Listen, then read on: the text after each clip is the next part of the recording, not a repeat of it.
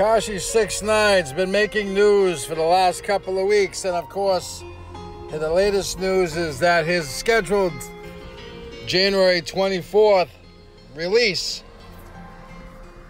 in front of the judge as time served is actually getting moved up to the month of November, which means he might be home in time for the holidays. Yes, ladies and gentlemen, if you sit and look at all the different photos I put up on Tekashi, you will know that these photos are him, his downfall, his rise, and the future of what possibly may become his freedom because he is definitely on the way out the door. The problem is, will the judge let him out?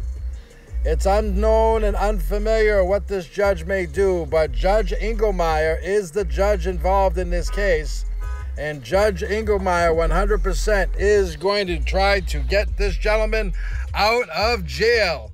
And unfortunately, with everything that's going on, you should subscribe to this channel because I absolutely have footage as you're seeing here in pictures that other people do not have.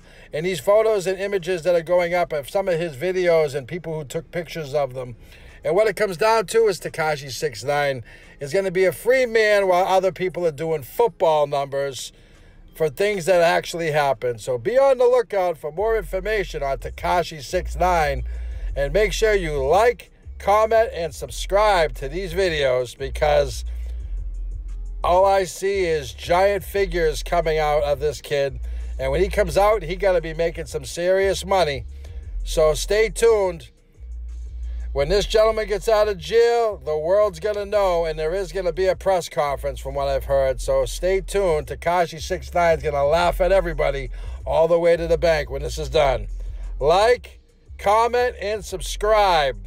World famous Medford